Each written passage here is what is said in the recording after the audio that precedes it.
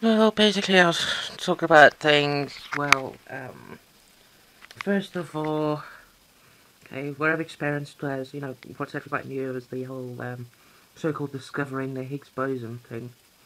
Well, personally, certain concepts I disagree with. That they still think that um, the smallest, that it's the smallest they can go. That will believe that the universe can go. And with the concepts that um, saying that photons have no mass, when it's been proven that photons themselves are capable of being pulled by gravity.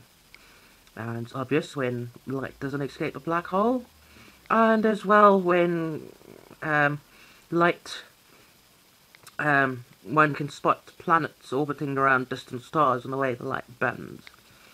Now, if light was just energy, um, light wouldn't be bending. Light would escape from a black hole. And, as well as another observable thing, um, oh, I forgot where it was. Light, uh, oh yes, and then light can be accelerated faster than the speed of light, which means that it has mass. Uh, when something has mass, it has its own gravity. And, um, you know, the thing is, energy itself cannot exist without the vibration of stuff, or the movement of stuff. And the and then as well as matter cannot exist without this energy, which is actually the movement of stuff. So wave, so it actually combines the wave, uh, the wave particle um, thing together. Because the waves is basically the motion, the vibration. It's like when you, like, drop a stone in the water, it ripples. So the energy is moving. Energy is never created nor destroyed as well, and we're basically living in a sea of energy. The whole concept of one creating energy from nothing um, seems to be the sort of ideology uh, that exists in mainstream science and people don't realize it.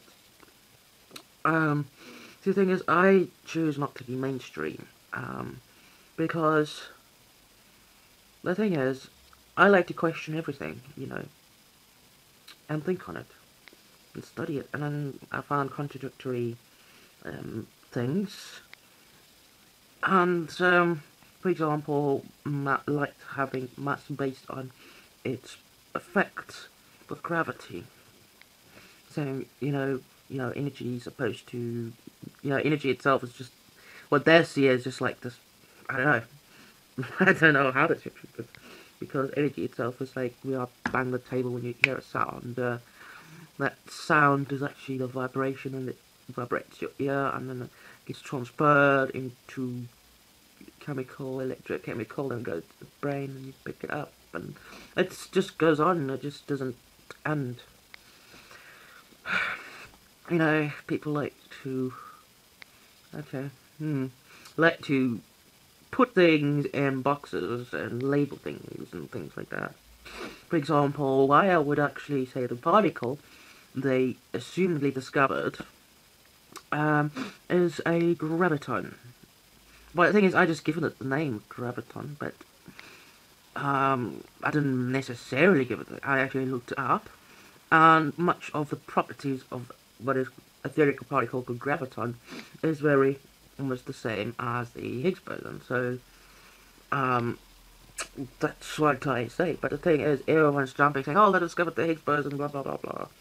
It's like very short and rush, and you know, things change over time and yeah, I'm still, I, I personally still stick with the whole photon thing because it's the only thing that actually makes sense to me um, in understanding uh, um, the micro universe part of the universe, um, which is only a brain of entire infinity.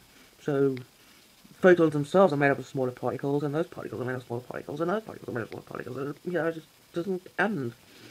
So, people just, I don't know why, they just kind of, because they can't see anything further, um, they assume it like ends a full stop kind of thing. And then again, you get the whole Big Bang bullshit theory, where something happens to be regurgitated out of nothing. You know, the thing is, whenever there's an explosion, there's always an implosion. There's always a reaction and a transferal of energy. So something cannot be created out of nothing, know. Um, formed was a better word, out of nothing. So yeah. Um, also another thing I was thinking on is, you know, just thinking, I'm just analysing myself in existence. What is the whole thing about it? We exist, but you know, it doesn't mean that, and that it's hard to put in words actually, and yet people just go out their way to make people's lives a bloody misery and enforce people to be concerned about frivolous bullshit. Um,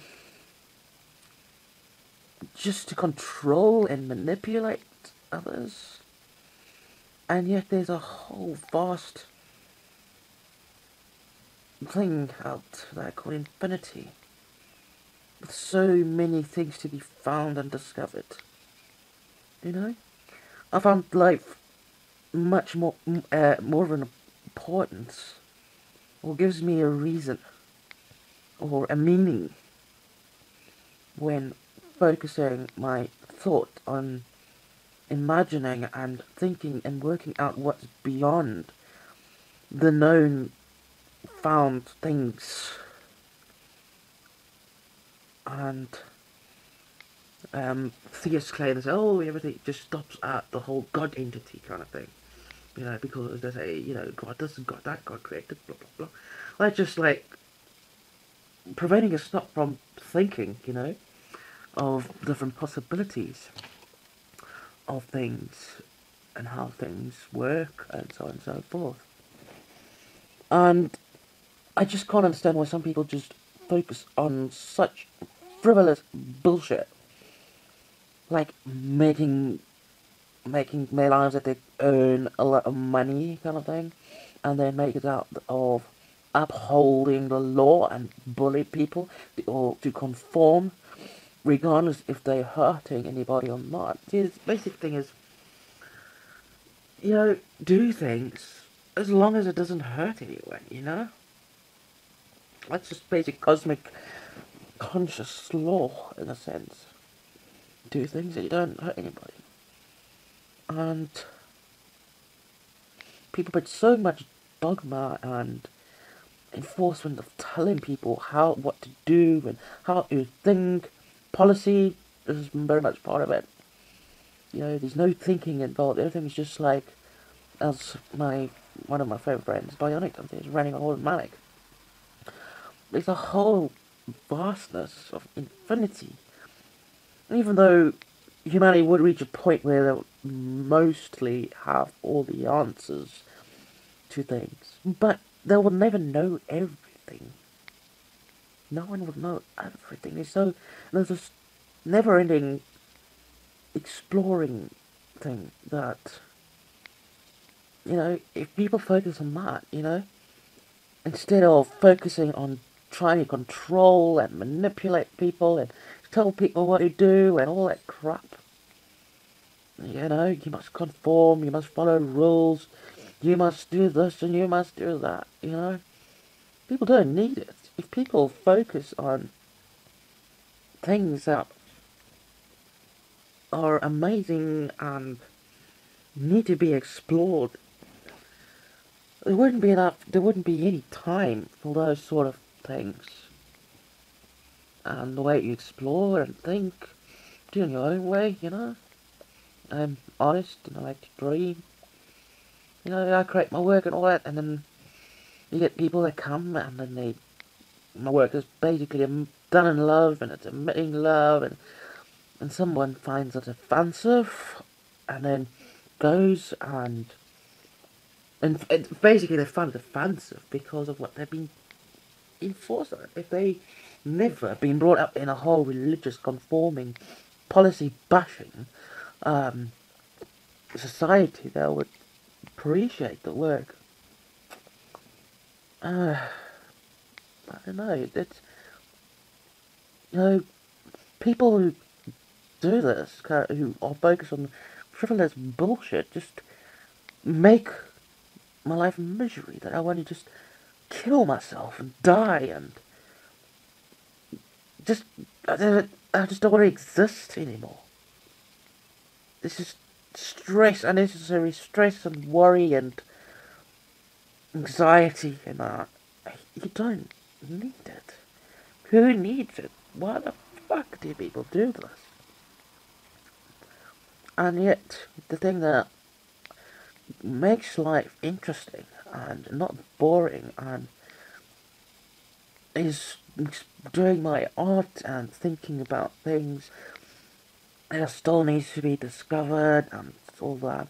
And the whole scientific community, in a sense, is basically artificially saturated. For example, you get physicists like Nassim Haramein. He's non-mainstream, um, just because there are certain arguments that exist in mainstream science that argues against his non-mainstream science. They feel it's a right to actually remove um, his Wikipedia page. It's just beyond stupidity. You know, this is what I don't get. Because it doesn't fit or it doesn't, get to delete it. You know, why can't people just leave it and then add in information that even if it, you know, add in information, as you know, would argue against his theories and all that. It will give a better, clearer picture. You can look at the um, the opposing theories with his theories and go through it, see the mistakes, work through them, and then derive your own conclusion. Um, where you take the positives out of each and you personally remove the negatives. And then you create an article on what you think. You know? It's it's this whole right binary zero one zero thing of true and false when, it, when in reality fact is nothing is really black or white. It's shades of existence. You know? Well, it's just um, mind. Sometimes I just don't know why I'm on this planet in the first place. Yes, I know that I'm, you know, I have a bit of extraterrestrial connections and things like that. It's all an experiment and all that, but why? What's the whole purpose of it all? You know, people should be just doing things because of being fun and exciting. Not, not necessarily doing things to hurt people, harm things, damage the environment, fuck things up, but doing things that are out of love and happiness. Like exploring and creating. Like when I look at things, people just do things to compete with one another. Their theories are better than those theories, and they're right and they're wrong, and uh, it's it's a thing that I normally, it's a thing that I always think and ponder on. What is the purpose of all this crap? Bylaws and oh but money people so stuck in a mindset people interested in other people's drama and get happy about people hurting or getting sick or dying or competing. I don't know it's I thought I'd just share some of my thoughts